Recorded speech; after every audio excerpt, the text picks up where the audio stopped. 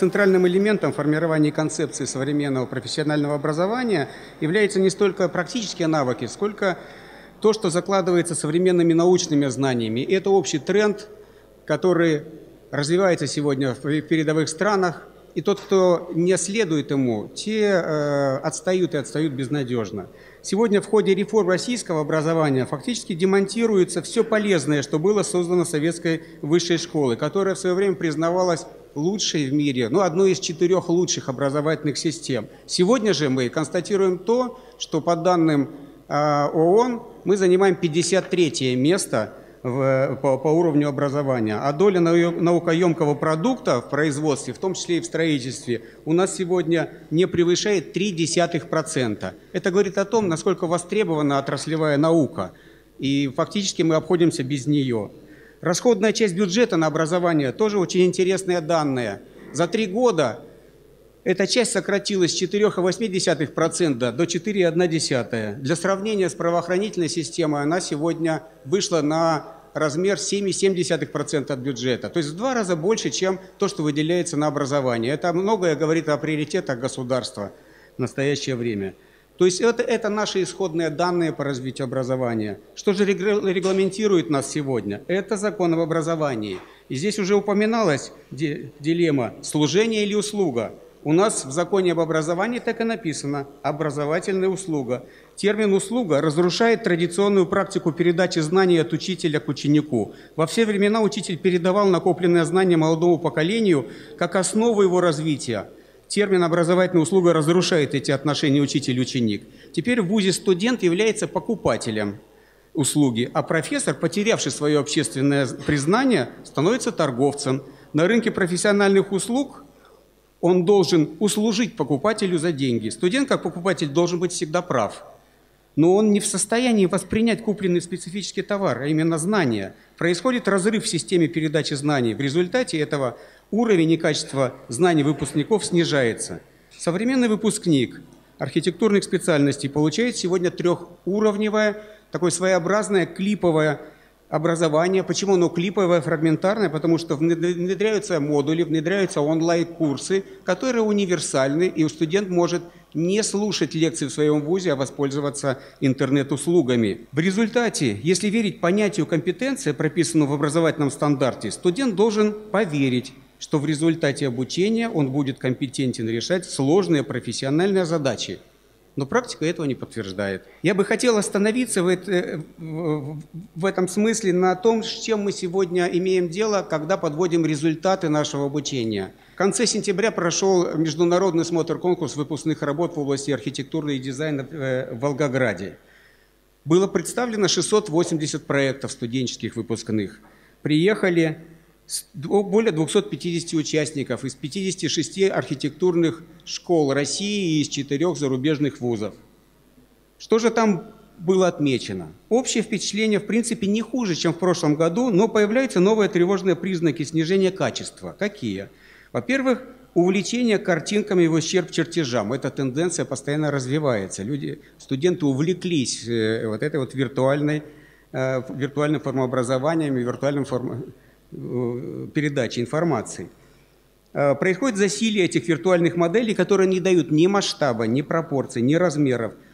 И кроме этого отмечается необоснованная фантазийность и надуманность тем, которые студенты выбирают для своих выпускных квалификационных работ.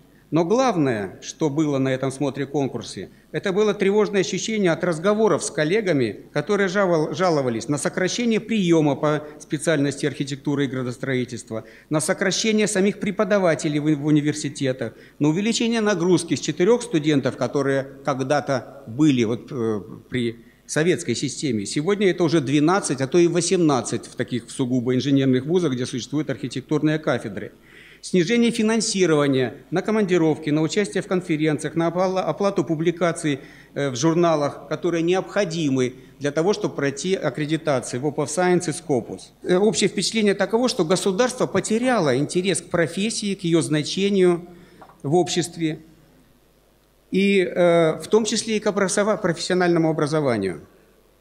В этой связи я бы хотел остановиться на том, что непосредственно сегодня чем непосредственно я сегодня вовлечен, это а, архитектурное образование в Московском архитектурном институте.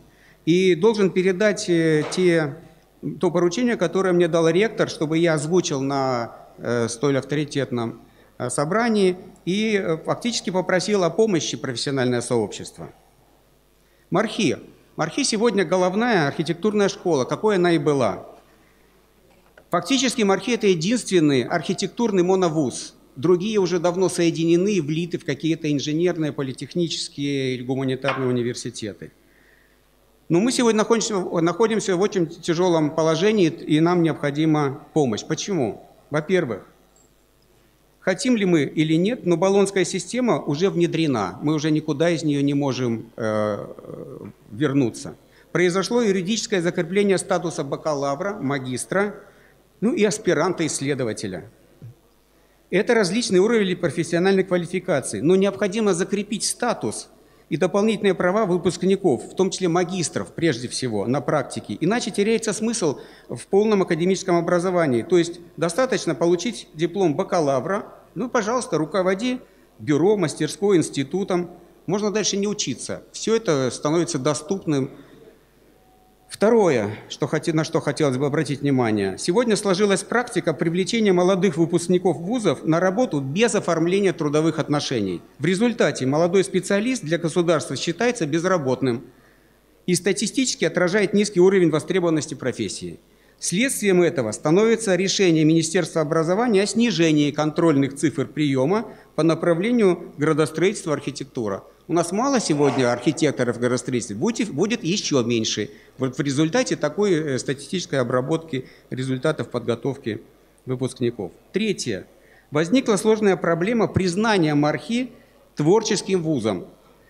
А это очень важно сегодня, потому что это совершенно другие расценки на а, обучение студентов, совершенно другие временные затраты.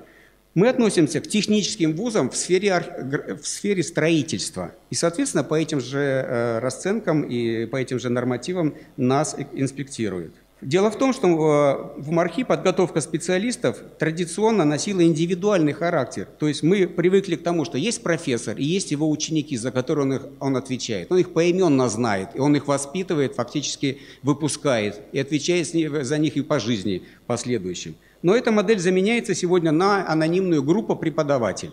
И там уже теряется вся эта ответственность.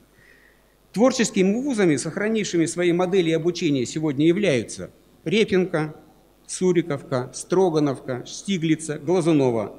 Но Мархи в этом статусе отказано, потому что это строительство считается в министерстве.